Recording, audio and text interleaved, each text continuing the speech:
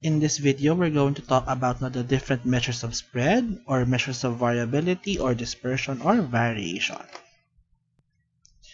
So there are five basic measures of spread, variability, or dispersion or variation and they are range, variance, standard deviation, coefficient of variation, and interquartile range. The first of them is the range. The range is the difference between the largest value and the smallest value. It is usually denoted by R and as its definition implies, R will be equal to the maximum value minus the minimum value. In our Excel table that we had a while ago, as you can see here, we have, we have the range given to us already.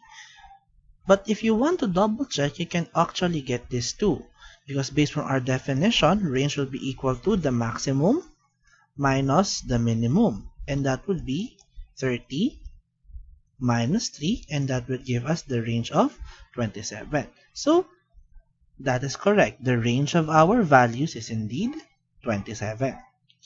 As easy as the range is to compute and to interpret, ads such as earn from $10 to $10,000 a week by sharpening saws at home take advantage of this aspect of the range.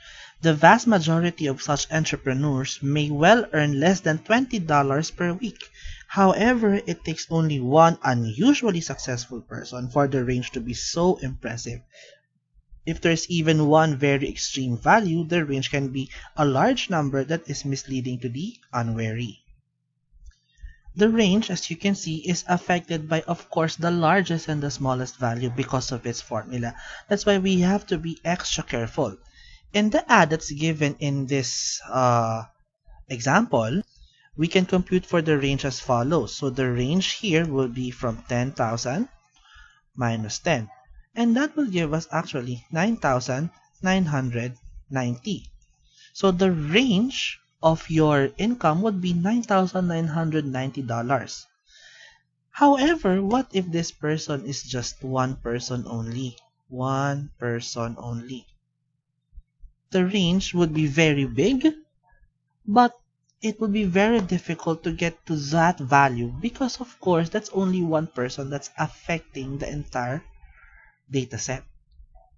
Usually, the range is partnered by the mode as describing data in terms of measures of central tendency and measures of variation. So if you're going to use the mode as the measure of central tendency for your data, it's better to partner it off with the range as its measure of variation. The next measure of variation is variance or sometimes pronounced as variance. The variance or the variance is the sum of the squared deviations of each of the sample values from the mean divided by sample size minus 1, denoted by S squared. It may be computed using a table or it may also be computed using the formula that you see. Now, the variance or the variance has a unique feature because it is the sum of the squared deviations. So let's illustrate this one. Say for example, this data point is our mean. And these are the different data points. If we're going to get the distance from each of the data point to the mean, like what I'm doing right now, even that far this one, and I'm going to add all of them, the sum would actually be zero. Because these distances are either positive distances or negative distances.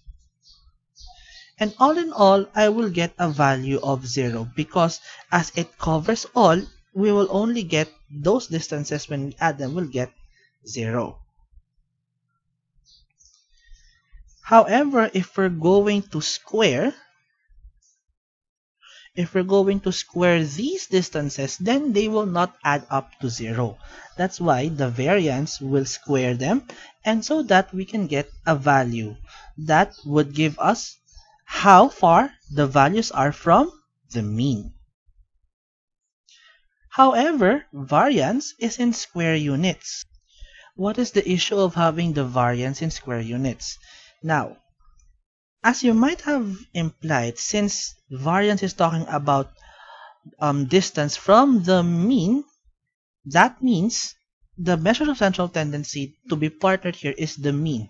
However, if we're going to compute for the value of the mean, we don't square anything.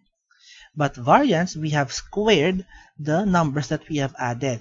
So, in that sense, we cannot use the two as a pair because this is just in units, while variance, which is s squared, is in square units. So we cannot use that one.